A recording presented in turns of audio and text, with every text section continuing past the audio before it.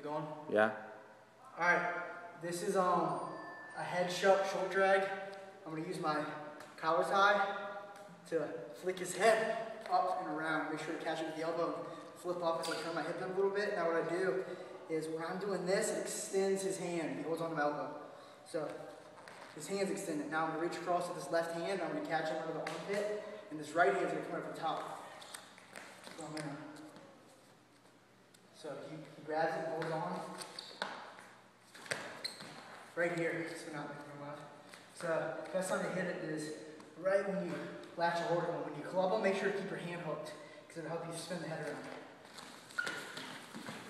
Right here. If he spins out, come over. Alright. Come under the waist. So over the back. You could probably tie shots on with this, but as soon as I hit him or you pull him, make sure to grab the hold of your elbow. Isolate his wrist if you want. Another key point is hand fight a lot before you do this. Constantly chop his hand. So he gets mad. I can't hold it. I want to hold on to it more. Just keep chopping it. Then he gets used to it and you come right here.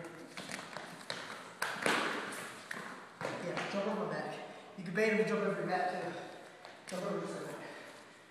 I'm gonna do a head bridge when he does that. Put it in the back, cartwheel. Right with it. Quick, there you go.